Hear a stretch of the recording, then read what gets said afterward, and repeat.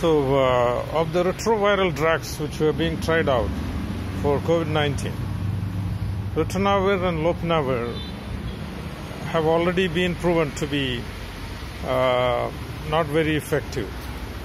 And now, the only retroviral drug which was uh, still relevant and being considered for uh, COVID uh, treatment was the drug remdesivir.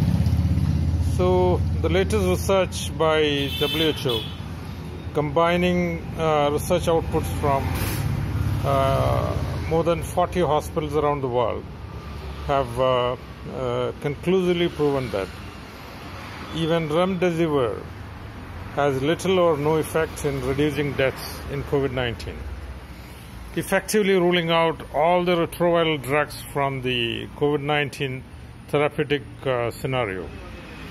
So now what we are left with is the anti-inflammatory drugs and some of the new generation uh, uh, cellular uh, level drugs, which we have discussed in uh, another episode.